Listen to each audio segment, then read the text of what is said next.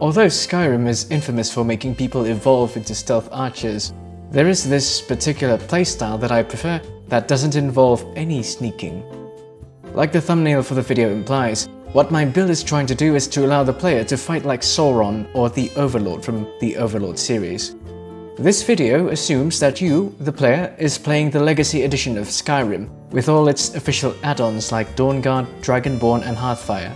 Because I really hate that Todd Howard keeps re-releasing the same game for so many times in the same platform. The race I'd recommend for this build would be, of course, the Breton, as they start out with plus 10 to Conjuration and also plus 5 in skills like Restoration, Alchemy, and also Speechcraft. They also happen to have 25% resistance to magic which is very handy to have when fighting mages and dragons, whose spells and breath attacks are capable of ignoring armor.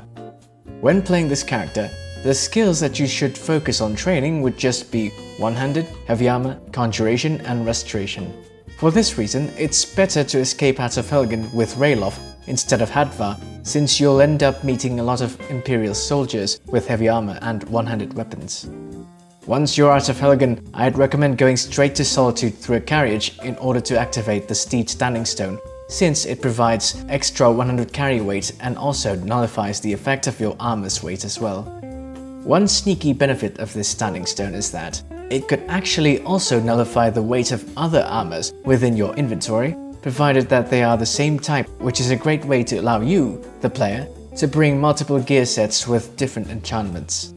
When it comes to leveling however, my question to you, the viewer, is that do you plan on using any crafting skills with this character or not?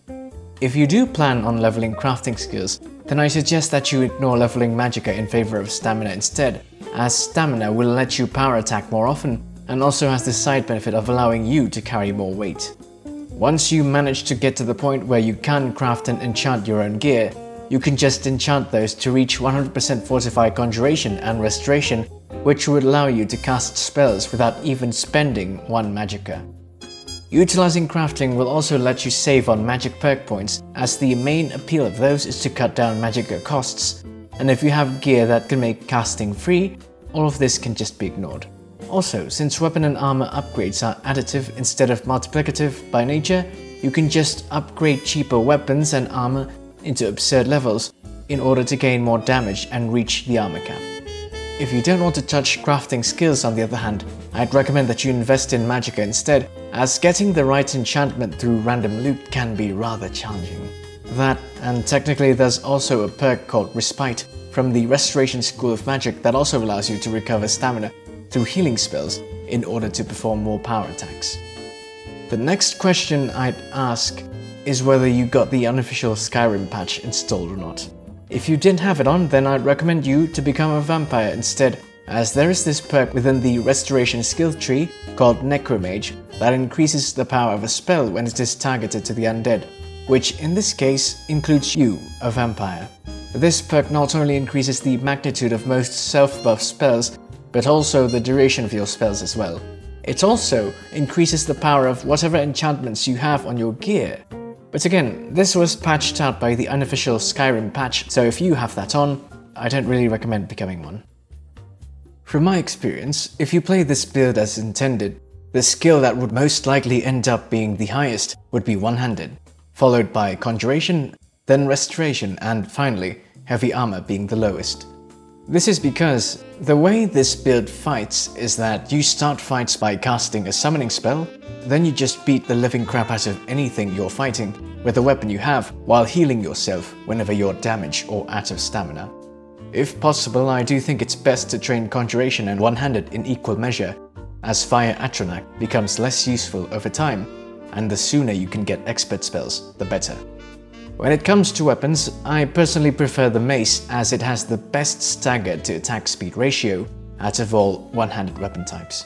That, and it also gets a really nice perk called Bonebreaker that allows you to ignore an enemy's armor rating, which gets more useful as enemies become stronger. Other weapon perks don't really scale with smithing upgrades, so if you don't like maces, you do get to save those 3 perk points. Despite my love for the build, there is one particular drawback that it has, which is the fact that melee weapons by nature do gain quite a lot from increased stamina, which somewhat conflicts with mage builds tending to not have that much to begin with. Arguably, a bow would better synergize with this build as not only that bows aren't affected by elemental furies, so you won't have to sacrifice enchantments for extra DPS, bows also don't use stamina for shooting, only when bashing an opponent. Still, I make a conscious effort to stay away from ranged weapons as I want to not succumb to the temptation of becoming a stealth archer.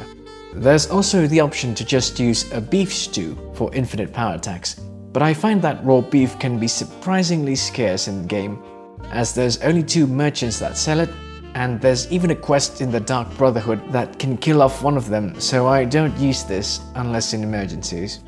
And that's what I can say about the build. I really do like the playstyle as I'm not that fond of becoming a pure warrior and prefer to mix both martial and magic prowess. I hope this video was useful or at the very least amusing and as always, have a great time.